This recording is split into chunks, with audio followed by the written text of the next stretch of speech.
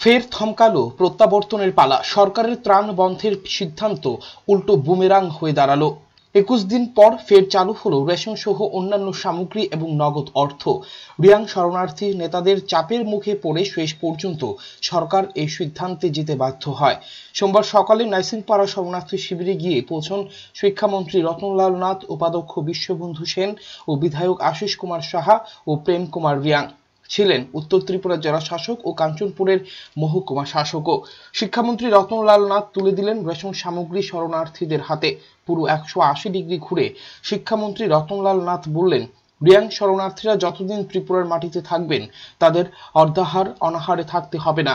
প্রত্যাবর্তন সমস্যার সমাধান না হওয়া পর্যন্ত রেশন সামগ্রী প্রদান অব্যাহত থাকবে।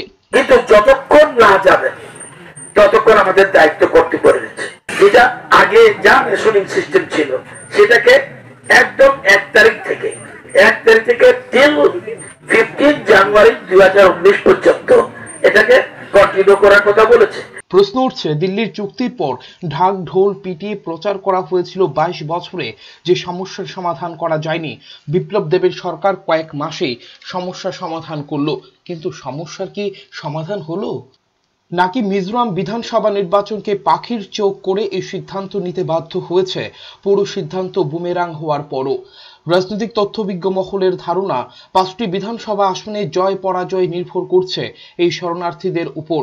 ত্রাণ বন্ধ থাকলে প্রভাব পড়বে ভোটের মেশিনে। রাজ্যে বর্তমানে ছয়টি শিবিরে প্রায় পঁয়ত্রিশ হাজার শরণার্থী রয়েছে। Bureau report, channel তিনরা